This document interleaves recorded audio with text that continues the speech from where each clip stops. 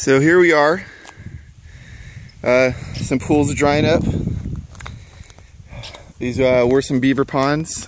Uh, they're all dried up except for these little pools. And as you can see,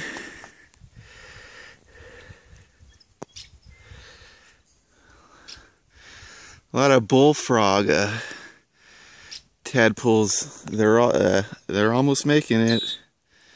But this is going to be a, you know, they're just sitting here for the birds. I've been seeing a lot of herons, um, great blue herons, uh, uh, coming out here having a field day with all these trapped fish and uh, crayfish. So, uh,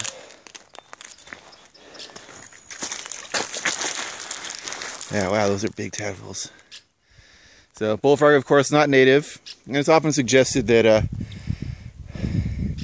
you know, beaver ponds create habitat for these non uh, non-natives, which is um, you know true, uh, but it also concentrates the non-natives so that the predators could eat them.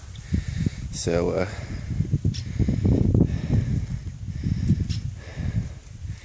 yeah, all right. Duane Nash, Southland Beaver.